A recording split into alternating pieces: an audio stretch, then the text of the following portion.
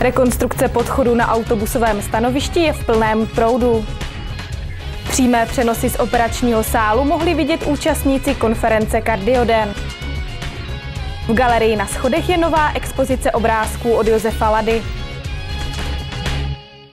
Dobrý den ze studia regionální televize. Vítejte u Třineckého magazínu. Další pravidelné zasedání třineckých zastupitelů připadlo na úterý 5. listopadu. Jedním z bodů programu bylo zkrácení termínu pro změnu územního plánu Třince.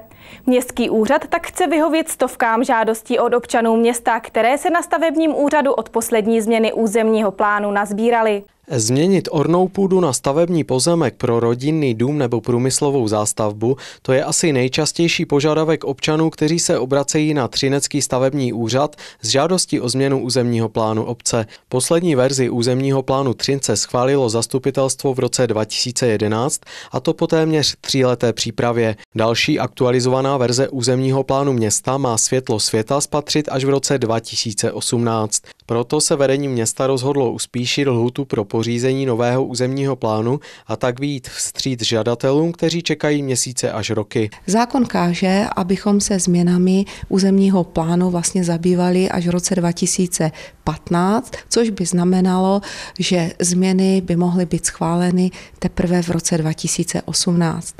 Vzhledem k tomu, že přibývá mnoho žádostí ze strany fyzických i právnických osob, aby ty změny uh, územního plánu byly zpracovány dříve, rozhodli jsme se, což ale bude stát i nějaké finanční prostředky z rozpočtu města, že bychom se snažili urychlit a vyjít občanům stříc.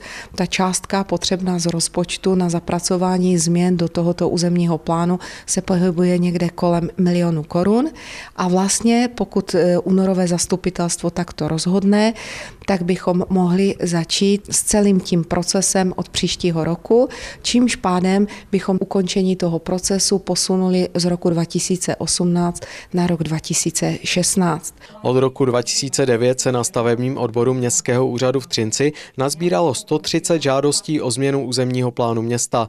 Další mohou lidé posílat ještě do konce měsíce listopadu tohoto roku. To neznamená, že všech těch 130 žádostí, které tady máme od roku 2009, případně další žádosti, které tady ještě dostaneme do konce listopadu, eh, že budou tyto žádosti o změnu zapracovány do územního plánu.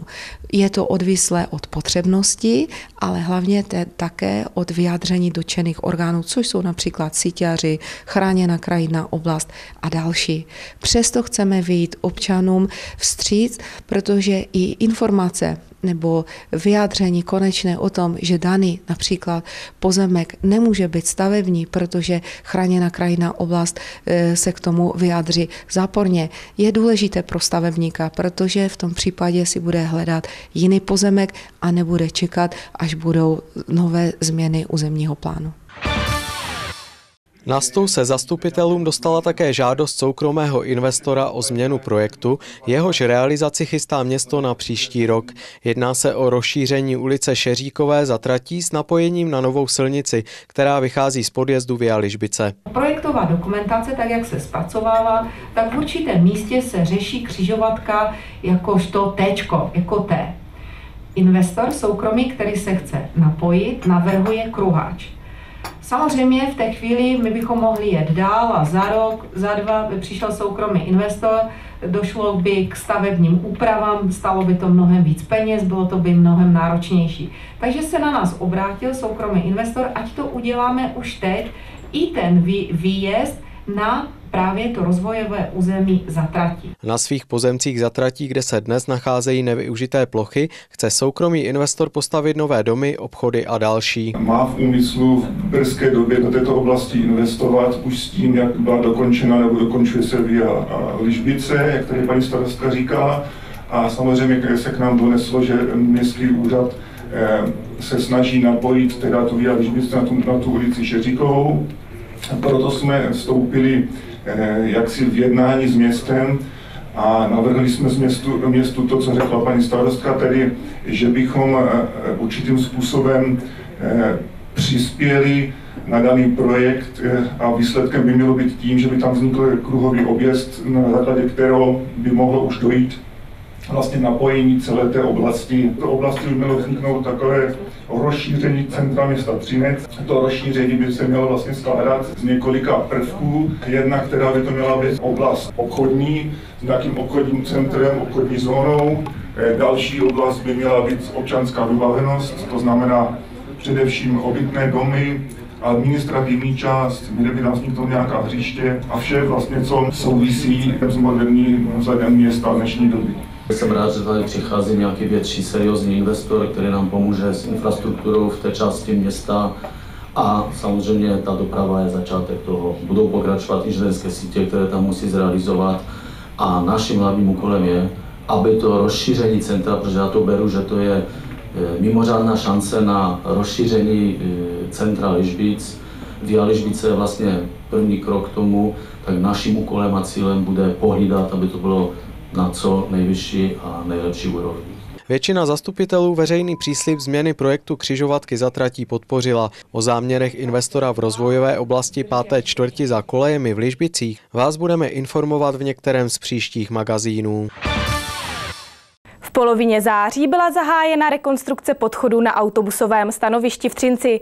V jaké fázi se momentálně rekonstrukce nachází a zda bude dokončena v termínu, nám prozradila Petra Jurásková. Rekonstrukce podchodu je teď v takové fázi, že jsme dokončili betonáž eh, stropu a zhruba za měsíc necelý by měla být rekonstrukce hotová, ukončena. Oprava bude mít dopad jak estetický, tak funkční. Kromě toho, že se opět pozvedne vzhled autobusového stanoviště, budou moci cestující v případě nepříznivého počasí přejít z podchodu do čekárny suchou nohou a nebudou muset při čekání na autobus stát na dešti. Jde hlavně o skulturnění a zpříjemnění toho vstupního prostoru. Na rekonstrukci se finančně podílí nejen Třinecké železárny, ale také město. Celková částka je 3 miliony korun. 850 tisíc korun nám poskytlo město dotaci. Podchod vedoucí na autobusové stanoviště není jediný, který projde rekonstrukcí. Součástí rekonstrukce je i oprava další části podchodu na druhé straně cesty a s tou začneme na jaře příštího roku, to už bychom nestihli. Stovky odborníků na srdeční vady zamířili ve středu 6. listopadu do Třince. Konal se tam už 15. ročník konference Kardioden. Oblíbená vzdělávací akce nemocnice Podlesí Kardioden byla věnována problematice kardiovaskulárních onemocnění. Kardioden je postaven tematicky zejména na novém hybridním sále, který jsme otevřeli v červnu tohoto roku a proto našemu auditoriu předkládáme nové léčebné postupy se zaměřením na hybridní výkony v kardiovaskulární péči. Dalším tématem je nová strategie léčby hypertenzních onemocnění u pacientů s nekorigovanou primární hypertenzí a samozřejmě nová antitrombotika v lékařské praxi. Kardioden je výjimečný nejen svým zaměřením, ale i spektrem účastníků. Pozvání každoročně přijímají přední čeští odborníci. Mezi přednášejícími jsou kardiologové, kardiochirurgové a e, vaskulární ať už eh, intervenční radiologové nebo, nebo cévní chirurgové. Jmenovitě bych tady opravdu vyzvihnul pana profesora Jana Pirka a pana profesora Jiřího Vidímského eh, z řad kardiologů. Stejně jako v minulosti i letošní ročník nabídl tři přímé přenosy z operačního sálu nemocnice Podlesí.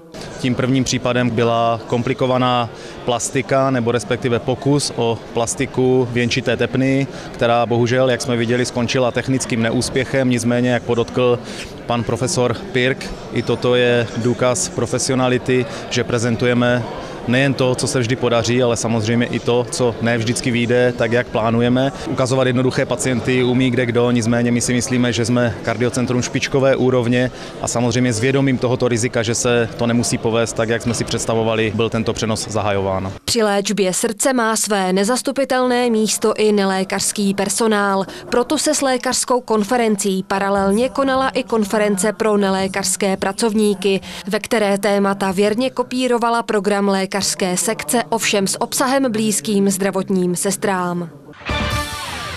Muzeum třineckých železáren a města Třince zve na výstavu obrazu Josefa Lady. 60 exponátů je k vidění v galerii na schodech. 60 obrazů, které jsou od 3. listopadu k vidění v galerii na schodech, představuje průřez tvorbou jednoho z nejznámějších českých malířů. Josef Lada byl karikaturista, ilustrátor, malíř a spisovatel, který se narodil v roce 1887 v Hrusicích u Prahy do chudé ševcovské rodiny. Navštěvoval večerní kurzy kreslení na pražské Umprum, kam byl později i přijat. Po roce školu opustil a věnoval se samostatné výtvarné činnosti. Ladův výtvarný projev je své rázný a osobitý. V jeho kresbách ožívá malířovo dětství a rodná vesnice se skromným životem řemeslníků. Z výtvarných technik používal nejraději kresbu. Jeho doménou byla dětská ilustrace. Sám napsal a ilustroval řadu knih, z nichž nejznámější je Kocour Mikeš. Expozice obrazů Josefa Lady bude v muzeu do konce února. Přednedávnem proběhla v jedné ze tříd základní školy v Českém Těšíně ukázková hodina matematiky, ve které se děti učí metodou profesora Hejného. Tentokrát se na ní nepřišli podívat studenti pedagogiky ani učitelé matematiky, ale starostové. Věra Palkovská a Vít Slováček tentokrát přijali pozvání do druhé třídy základní školy v Masarykových sadech. Na programu byla hodina matematiky vyučovaná metodou profesora Hejného. Ta se od běžné matematiky liší tím, že na způsobu řešení a výsledku se dohodnou žáci třídy mezi sebou. Takže kolik máme křídel celkem? Šest. Šest.